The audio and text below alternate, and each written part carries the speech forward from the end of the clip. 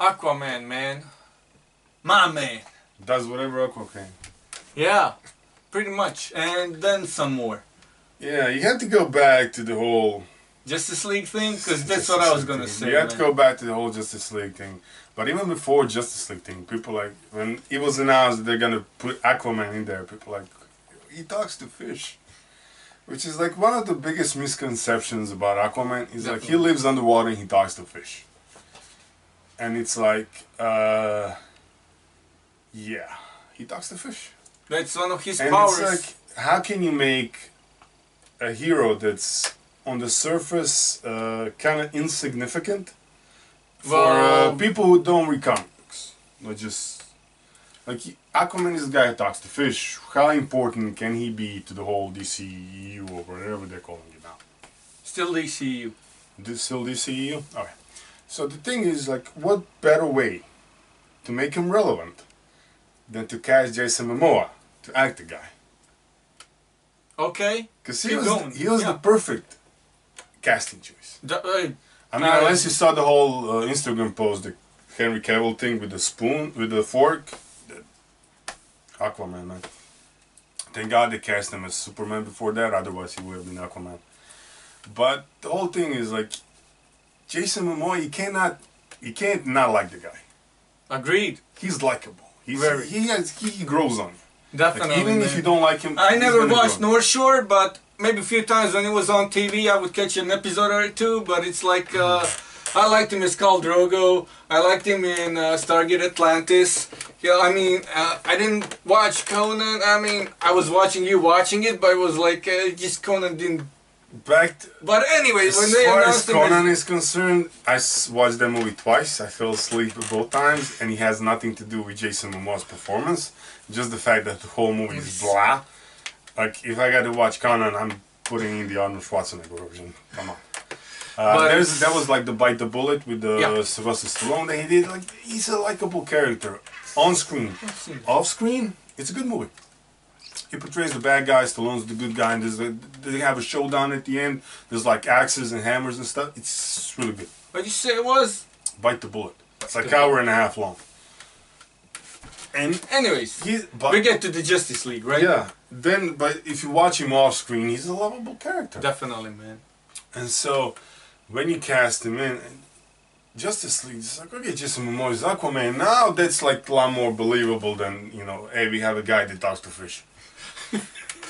Yeah. Okay. You know? Yeah. But people were still like, uh, uh, he still talks to fish though, come on. I know he's Momoa, but you know. And then you saw him in Justice League, and now, to be fair, he didn't have as much screen times as I would have But liked him to. definitely, man, definitely. But he still stole the movie. But he stole the movie. Like he was one of those high points of the movie, and then people are just like, "I thought he talked to fish, man," because it just didn't work. And then at that point, you already knew we're gonna get an Aquaman movie. So now it's like it was already right. announced. You, you, Oh, we knew yeah. it was coming, but we didn't know what. But Justice League kind of stole. Like he sealed the deal. Like people like, okay, we want to go see Aquaman, and Aquaman grossed like one over one billion dollars yeah, globally, which is you know in Hollywood terms means we're gonna get a sequel. if not more. Yeah, even if he talks to fish in the movie, we're still gonna go sequel because he grossed billion dollars in the first one. Yeah, That's a lot of fish, man. He's my man. That's my favorite quote, man, from Justice League. He's just Yeah, like yeah. he's picking up those demons one by one, whatever their names are, and he jumps in the air. He's like uh, Cyborg picks him up and is like, "Hey, we're not done. There's more." My man. Damn, man. Oh. Yeah, that's why I was excited to see the Okay, Aquaman so movie. are you like was- spoiling the movie or not? Because at this at this point, point, been yeah, Yeah. we're spoiling it. So we If you haven't really seen it, out. Yeah, go watch it. go watch it. Definitely go watch it. If it's still playing on the big screen, I mean, go watch it or in the one billion, like Yeah, at this point, go watch it. Like, definitely go if watch it. If it's still playing. I it's still Yeah. playing in one of our cinemas, at least. so it's probably playing outside as well. Go watch the movie, man. At least at the time of recording of this video. Yeah. Yeah. Well, knowing you, you're gonna release it this week, Yeah, definitely. so it doesn't really we have matter. we have like one month to catch up, man. So Yeah. yeah, of content to catch up with. Yeah. Yeah. She get, so like you know you figure out once the Aquaman starts you get a little bit sneak peek at the origin story you know mom falls in love and blah blah blah he has It's a pretty solid story, and you know what? You know what I like the most about his origin story and the lighthouse because we grew up on the lighthouse. It's like that, that that's the thing that got me the most, man. Yeah, is yeah. like father going, dude. That, that was like you know, definitely you know. It's a good love story man it's a good Yeah. origin story and then you meet up with the grown-up Aquaman and uh, Amber Heard shows up with the whole yeah yeah you're the queen of you're the king of Atlantis blah blah blah whatever go come claim thy throne almighty one and it's just like which is you know you can expect it at this point you know like and hey, let's not forget and the. thou uh, has defeated the Stephen of, of the Wolves. and it's like, and you're, you're, the- you're stepping of the wolf. yeah, step, stephen of the Wolves. We're gonna have fun with this one. I'm just saying, you know. Oh man, we haven't had fun with the movie since Beauty and the Beast. Oh, man. that was fun. That was fun. That was like an epic, epic level rank right there. But here it's like there's nothing bad I can say about this movie. Yeah, and uh, Like, what's the um, Green Goblin guy's name? I always forget. Uh, Yeah. The guy who plays his mentor, as like he teaches Yeah. him combat, teaches him, you know, the name to, escapes me. yeah, how to how to But in wield. Boondock Saints, he did dress up as a woman. Yeah, there was a scene. Yeah, yeah. Uh, he was trying to Yeah. catch the Boondock Saints. Only to join him. You know, nice twist at you. Yeah, let, dude, let's not digress, okay? I mean, as far as Aquaman goes, and, and you know, you have to put entire movie into the, uh, the under the sea, not into the sea, under the sea. Well, here's the thing you have to understand about it. You're dealing with the mythology. So you have to present it as such. The whole on-screen thing with the, the whole, like, people uh, on the surface don't believe there is an Atlantis, and Yeah. people in Atlantis having delusions about what it's up. Not just delusions, they just don't play, don't like them, and justifiably so. I mean, Oh, yeah. they're definitely like the surface people. Uh, you know, they're definitely you know not being good towards the sea. They're polluting, throwing their trash. Like I'd be pissed off too. But still, they have grand delusions, Oh, yeah. in my opinion. But have like to look at we're the all like living you on the say, you have planet. to look at like from the mytholo- mythological point of view. It's like the whole, especially when it comes between the whole like uh, they fight for the throne, and like you have tribes, and then like even if you're king of Atlantis, you kind of have to unite them all if you want to go up fight the surface dwellers and stuff like yeah. that. So it's like mythology come to life, similar as we have seen with Wonder Woman, woman, and just like with Wonder Woman, DC does a fantastic job here, explaining it like story-wise. They didn't just throw it together and jumble it up and hope it stick. It actually they put effort into making the story that's believable, that's relatable. Yeah, And the whole when uh, the the Mara is Emperor's her name, Mara, yeah. Mara, yeah. When Mara joins, uh, Or Mara, oh, yeah, who cares? when she joins, She's gorgeous and yeah. she's hot, so it's like, and joined- powerful, so. and redhead. And redhead, yeah. Can't be that. When she joins uh, Jay to go hunt for the lost uh, trident of Atlan, that will help him defeat, you know, the, his uh, evil. Claim uh, his throne, basically. claim and his defeat throne his and evil defeat brother, yeah. his evil younger brother. Half brother, yeah. Yeah. It's, it's just the whole thing's like it's perfect. The whole thing makes sense. The whole thing fits together, and the whole like he has to go into the deepest, darkest parts of the ocean. Yeah. To, in order to claim like he has to fight unsufferable stuff, and it's like Yeah, and we talked to when makes we talked about the Meg, you know, it's like uh, realistically speaking, we still haven't, you know, we know more about space than we know about our ocean, right? Oh, so yeah. it's like they're still it down there is undiscovered, yeah. yeah. And Jules Verne wrote one of the best books on the topic as well. So can't wait to see this uh, remake of the movie.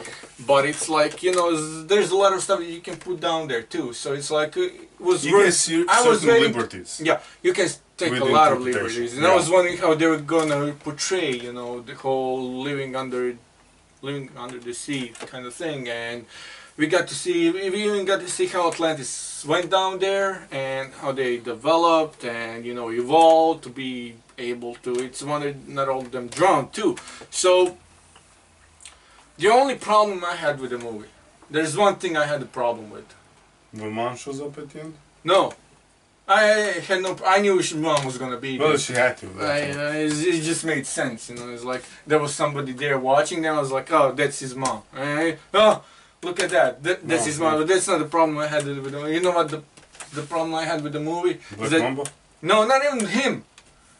Well, the, maybe a little bit with his dad at the beginning. He was like, uh, "Oh, we're gonna kill all these innocent, you know, soldiers, but then uh, we're gonna blame you for not saying my dad, who's a bad guy, and he was gonna kill all these people just for the submarine, and we're gonna, you know, it's like, what the fuck, dude? Like, what the fuck?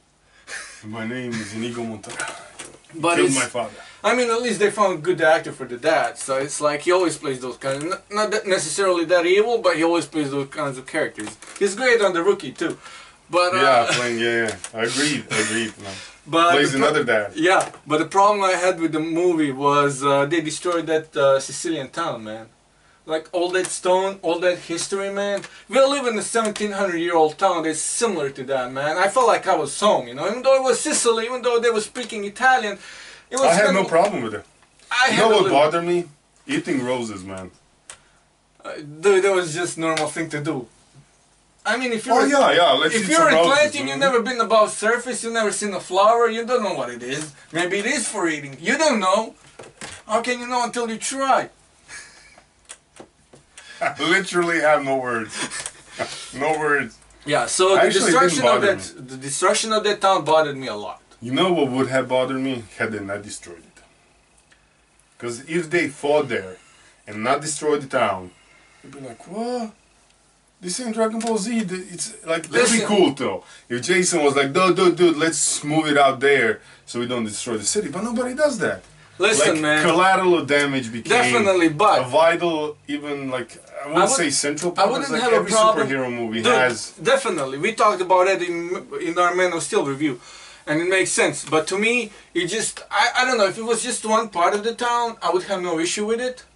Like But it's a small town. There is no one part of there was that statue thing where he was uh, looking uh, to you know finding where the Yeah, and the town that was on top because the town didn't go into the. It wasn't a white town. It was a high town. Yeah, I know. That's the like, problem I had. They, on they top. could have stayed in that area. They could have gone. You know, they could have stayed there. You know, they They couldn't. They literally couldn't have, because the movie, literally, the town literally slopes downwards. So if they fought on top, there's no other place to go than down. And behold, the down is the town. Like they had to rank the Fine, town. fine, you got me. Okay, fine. I got no. there was no I got possible reply way to to, not destroy the town. Otherwise, other than Black Mamba being like, uh, or Jay being like, "Hey, let's not fight here because we don't want to wreck the town. Let's just go there." And nobody Fine, that. fine. You win. You win that I'm one. sorry. I, this is like you got me. There's no logical way to not destroy the town. Well, it could have been made like Dragon Ball Z. Could have been that'd be so cool, man. But nobody does that.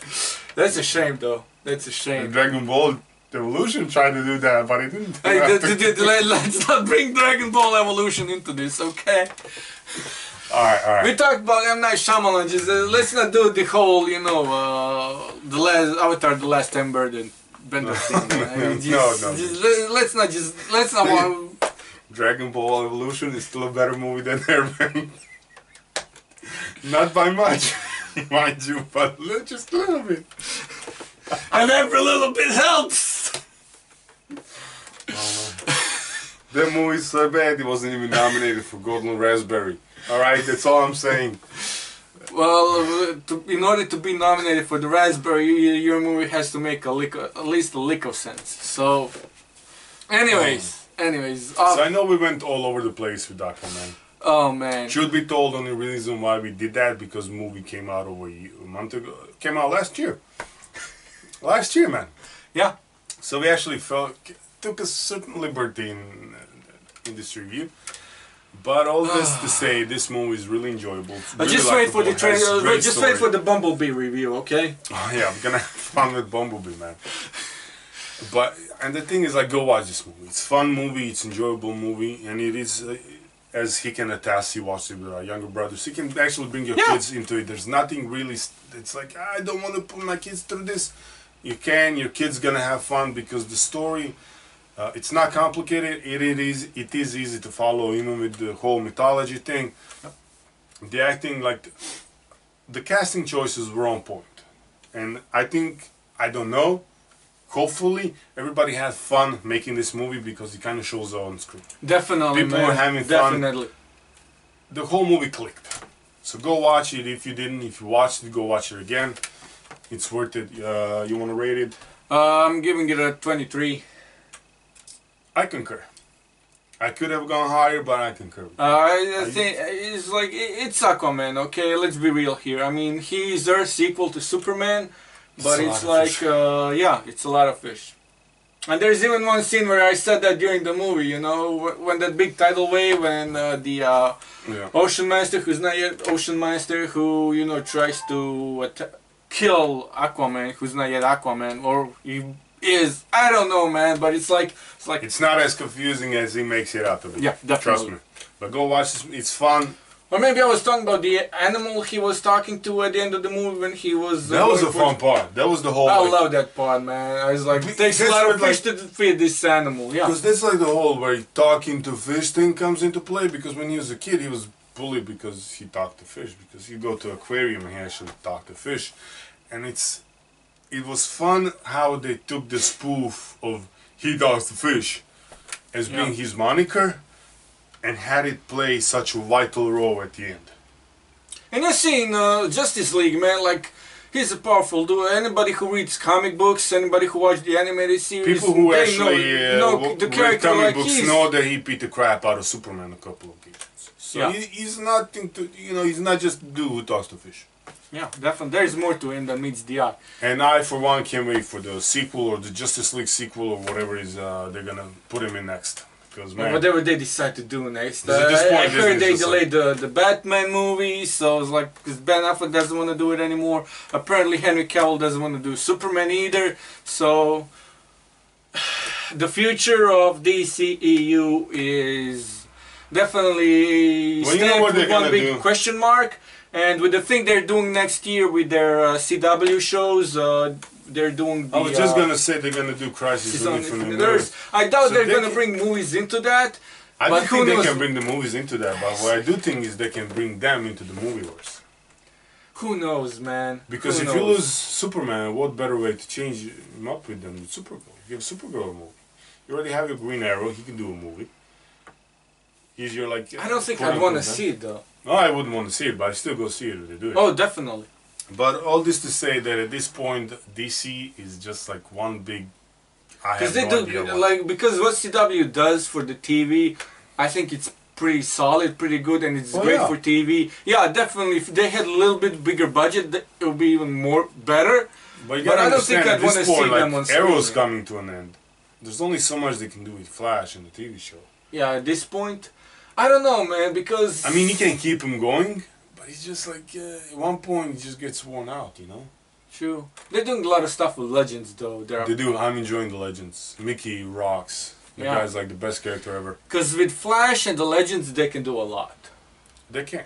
And uh, I'm also thinking uh, the Crisis on Infinite Earths, they're gonna bring in Supergirl into this. They're gonna mix them up, finally bring it all together. Now, not that they can, and Supergirl and Because Superman are gonna be part of the. I think Superman and Supergirl are gonna be part of this universe. So there's a lot of stuff that they can do with that, and they brought in uh, the um, what's Batwoman too in one of the shows. And she's gonna. Oh no, those her were also show. those, were Yeah, but she's gonna get her own show. right? Yeah. So, and Ruby Rose is pretty solid in my book. I mean, Oh yeah, I agree. I agree.